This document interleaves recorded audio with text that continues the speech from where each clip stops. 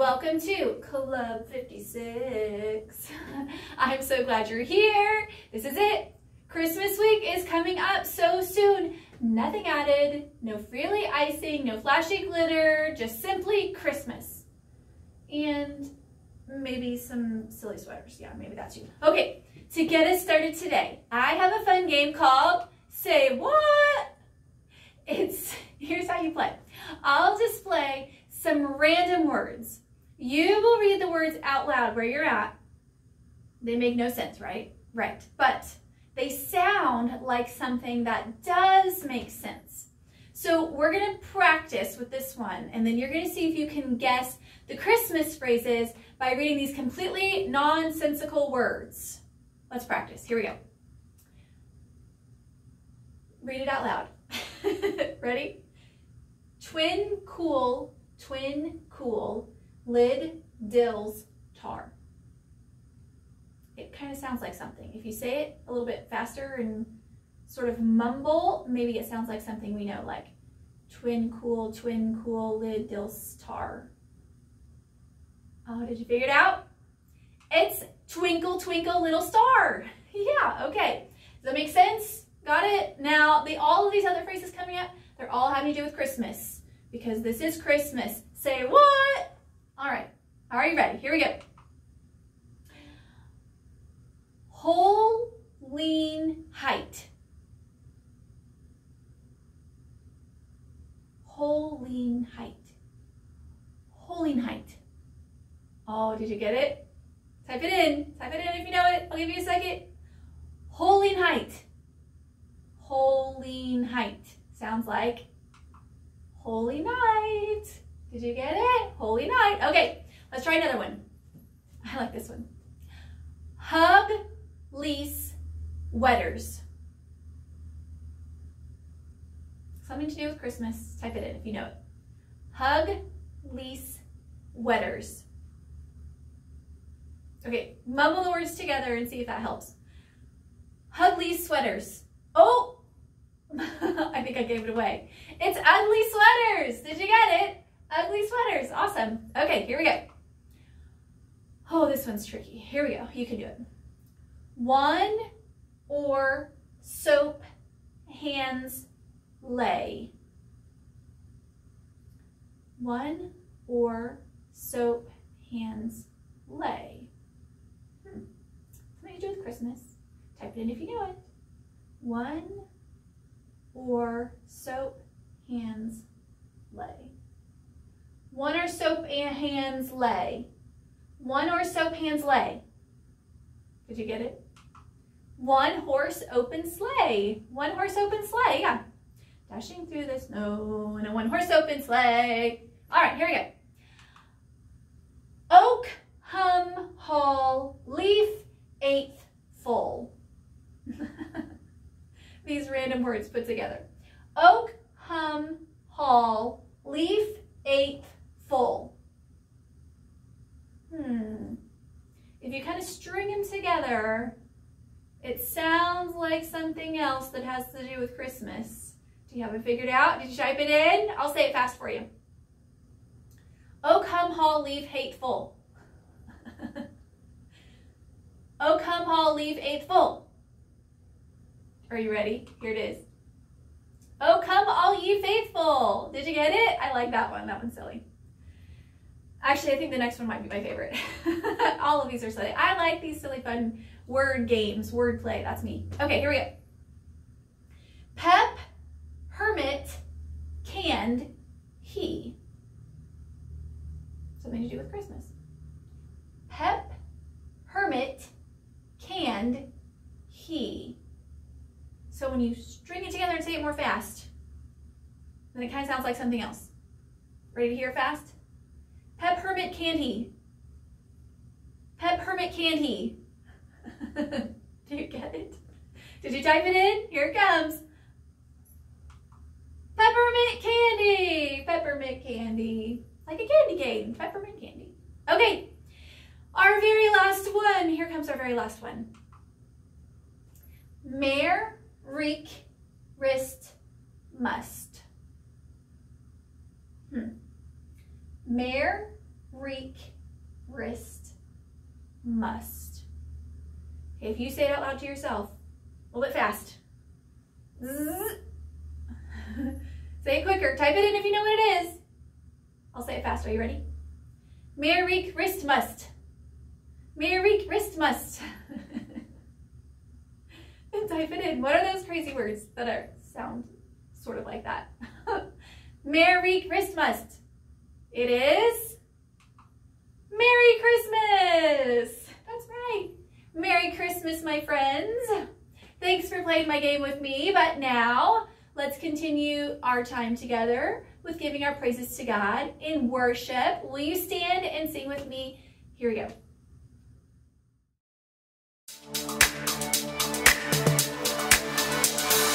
Joy to the world, the Lord Let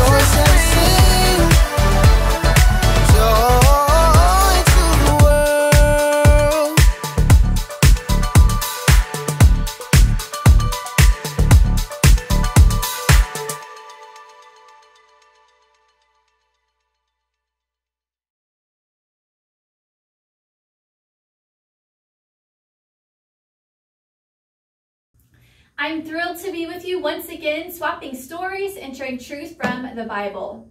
I tell you, I am 38 and I'm still learning amazing things from God's Word. As many of you are very much aware, next week is Christmas. Our minds are a little bit on gifts, getting them, and hopefully giving them. In fact, the best kinds of gifts are the ones you really think about before you get them for someone. Not just the, hey, I'll throw in a gift card kind of gift. Gift cards are nice, but a thoughtful, specific, oh my goodness, how did you know kind of gift, right? Those are way better. Has anyone ever done a white elephant gift exchange? You know what a white elephant gift exchange is?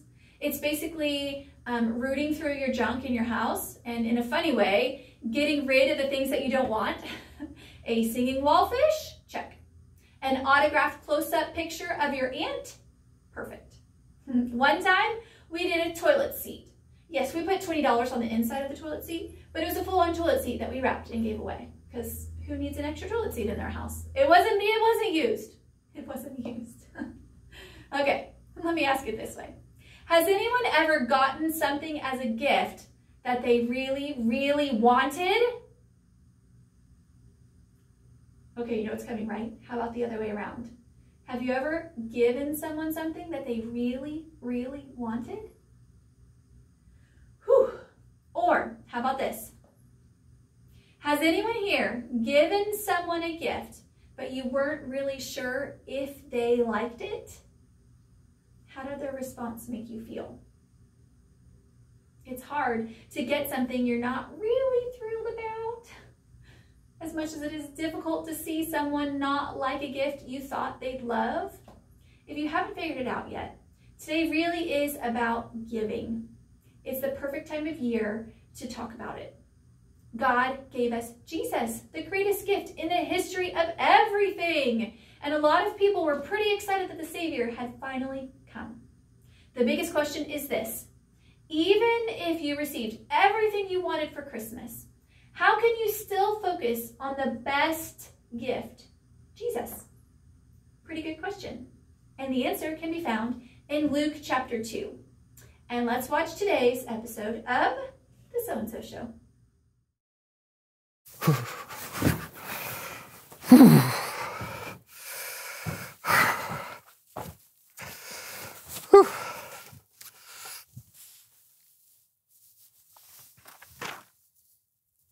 Brandon, grab some swim trunks and meet me outside for some fun in the sun.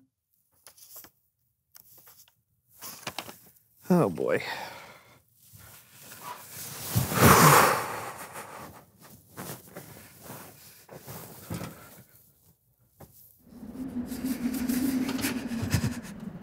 Oh, hey, Brandon. Come on over here. I just threw some hot dogs on the grill. John, what are you doing? Well, we've been cooped up inside for so long, I thought we might as well come out here and take advantage of the beautiful weather. It's like 12 degrees. Temperature is a construct. Okay, seriously, John, what is your plan here? Yeah, We're you've not- heard of Christmas in July, right? Well, I wanted to do July Christmas. Yeah, that makes no sense. yourself some lemonade. All right.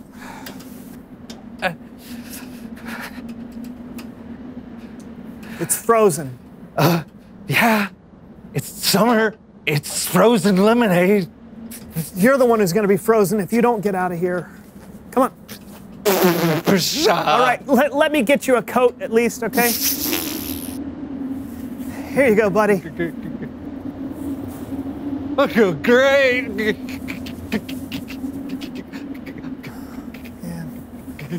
You're strong, Brandon. You work out. I warned you.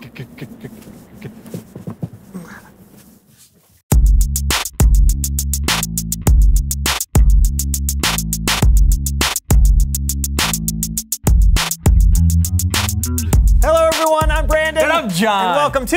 The So and So Show. Hey, Christmas Day is just a few days away, and we wanted to wish you a very Merry Christmas from all of us here at the show. Hey, John, what's one of your favorite Christmas traditions? Uh, the lighting of the Yule log. really? That didn't turn out so well for you last year.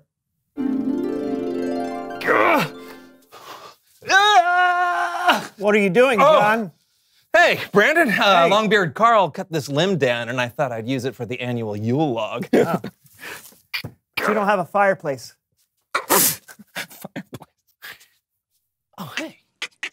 Hey, Brandon, hold on a second. Ah. Hey! Brandon, there's a squirrel back here. What is your whole family? Hey, cute little squirrel family. How you doing there in the tree? Hey, hey, you. No, no, No, stay back. no. Oh, no! Oh! No! No! No! It burns! Oh, get it off! Get it off! It's on my eyes! Ah! Ah! Oh, no! yeah, I forgot all about that. Squirrel. Where? One of my favorite Christmas traditions is the Christmas card, but we decided this year we were going to do living Christmas cards. So let's see what we got. Okay, yeah. Oh, here's one from Longbeard Carl. Oh, this should be interesting. That should be fun.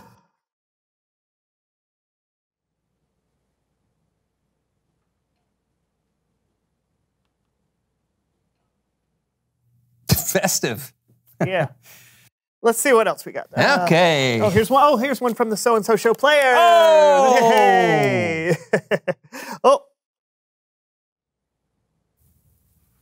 O Christmas tree, Oh, Christmas tree, thy leaves are so unchanging.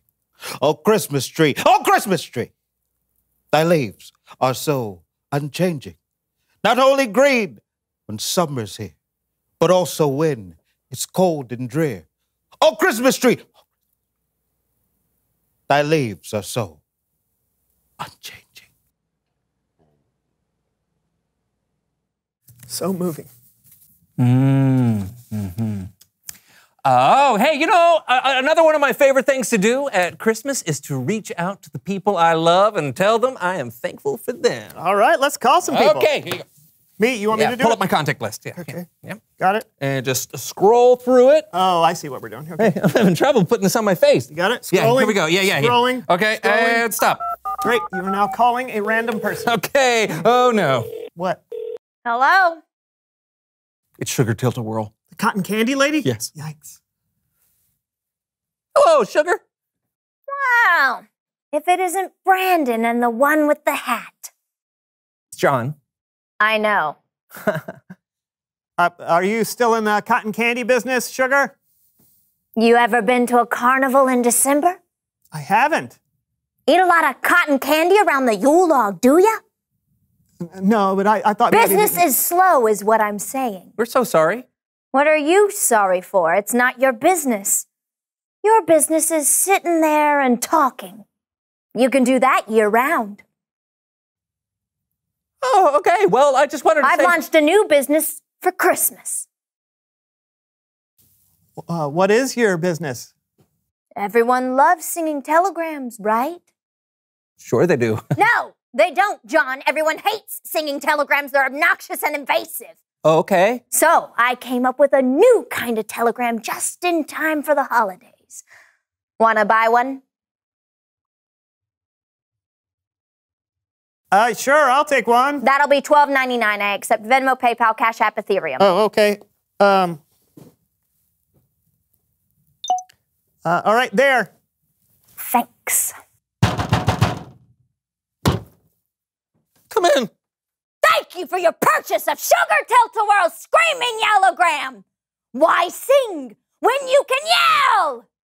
Dear Brandon and the other one, I hope your Christmas is filled with good tidings and silent nights. Stop. I hope you get everything you wished for. Unless you wished for cotton candy, because I'm not doing that right now. We talked about this. Stop. Happy Christmas to you both. You are the only friends I have. Stop. God bless us, everyone.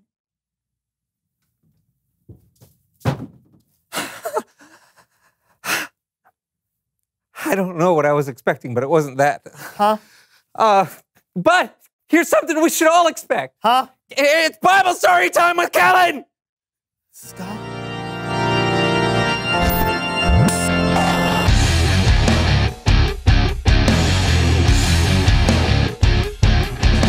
What is up, good people?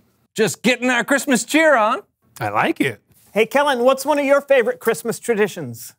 Oh, I am a huge fan of giving gifts. Oh, I love getting gifts. I think he said giving. Right. Oh, don't get me wrong. I love getting a good gift, but there's really something special about finding that unexpected surprise to give someone you love. It's really cool. I also love telling today's Bible story every year. So let's take a look at the book of Luke and the unexpected surprise that God gave to the world. Lights? It happened like this Caesar Augustus made a law, a decree, a census would be taken. which meant everyone in the Roman world would be counted. Hear ye, hear ye. I, Caesar, declare, no, I decree, everyone in the Roman world is to be counted. You must return to your hometown to be listed, and so it has been said, and so it will be so. Joseph was engaged to Mary, who was pregnant and about to give birth. When he heard the emperor's decree, he knew he had to travel to his hometown. And so, Joseph and Mary began their journey from Nazareth to Bethlehem, the town of David. The journey probably took them several days. So think about that next time you want to complain about driving a few hours to visit your grandparents. When Mary and Joseph arrived in Bethlehem, there was no place for them to stay. Hey, we need a place to stay for the night. Sorry, guest rooms are all full. Please! Mary is about to have a baby! Isn't there anything you can do? Not unless you want to sleep over there. We'll take it. So Mary and Joseph stayed near the animals in a cave or a stable of some kind. While they were there, Mary gave birth to a baby boy. There was no bed, so Mary wrapped the baby in large strips of cloth and placed him in the manger. The manger was a feeding trough for animals. The baby, of course, would be called Jesus, and he was the Son of God, and he would one day become the Savior of the world. A very humble and unexpected gift on that first Christmas. The best present any of us could ever ask for.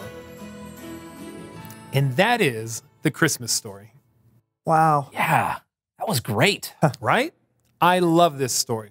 There's so much going on at Christmas getting gifts and going to parties, seeing family and friends, Christmas movies, all the really good things. But the Christmas story reminds us that God loves us so much that he sent his son for us. And that's what Christmas is all about. Merry Christmas, Kellen. Merry Christmas, fellas. See you later. Later. I love that Christmas all started with a gift God's gift of his son to the world. Hey, maybe that's why we give gifts for Christmas to remind everyone of that very first gift. I think you're right, John. Ah. So, Reveal the question!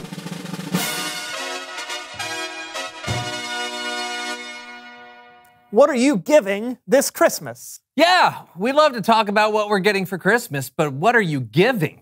You can give someone your time. You can give someone something unexpected. Mm-hmm. Herb crusted goat cheese. Were you expecting it? No, I was not. Mm. Mm-hmm. You can give someone your love with your actions, your words, and that can point people to God who loved them so much he sent us his son. Yeah. Talk about it with each other. And we'll see you next time on the So and So Show. Merry Christmas! You want a bite? I don't. Jingle bells, jingle bells, jingle all the way! Oh, what fun it is to ride in a one-horse open sleigh! Stop. Jingle bells, jingle bells, jingle all the way! Oh, what fun it is to ride in a one-horse open sleigh! John, Stop. stop before you break the set.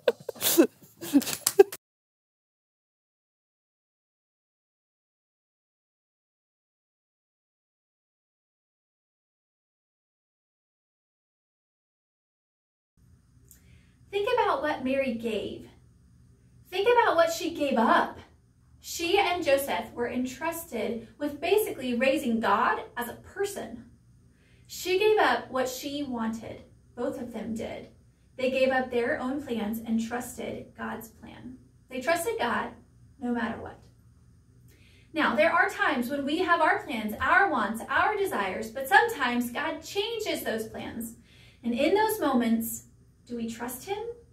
Do we trust that God's plan is a good one? The good news is that, yes, you can. You can trust God. The fact that Jesus was even born at all is proof that we can trust God no matter what. God said He would give us a Savior, and He sent Jesus. God showed us how much He loves us by sending His only Son. God sent Jesus for you, and you, and you, and you, and you way in the back thinking that you're not paying attention. You too. Yeah. That's how big God's love is for us. That He sent Jesus before you were even born. He said He'd do it, and He did. I'd say that's pretty trustworthy. That means everything else God says in His Word can be trusted. All of the promises of life to the fullest, God being with you always, of working for good in all things, of going to heaven, all of it, you can trust in all of it.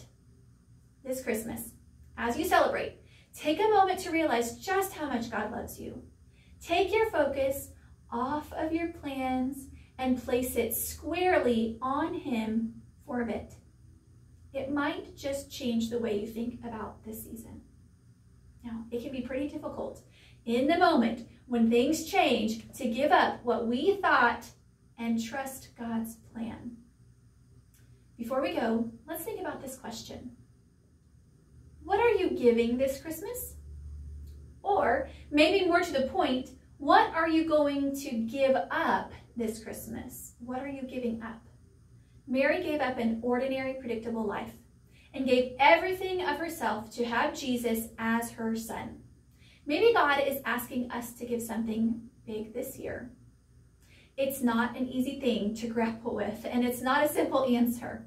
The good thing is that your friends and your leaders and your parents are ready to talk about the hard things, and you'll find amazing ways to make God's plan your plan.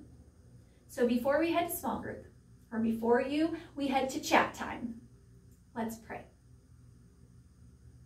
God, thank you so much for sending your son Jesus. Help us to realize how big your love is. Help us to know that we can trust you no matter what because you sent, you said you were going to send a savior and you did. You are trustworthy. Help us to focus on you and your plans for our lives this Christmas season. In Jesus' name I pray. Amen. Okay, here comes this month's memory verse. Today, in the town of David, a Savior has been born to you. He is the Messiah, the Lord. Luke chapter 2, verse 11. All right, friends, I'm so glad you watched with me today. I hope you have a very Merry Christmas, remembering to celebrate Jesus, God's greatest gift. Merry Christmas from Club 56 and Miss Emily. See you in January.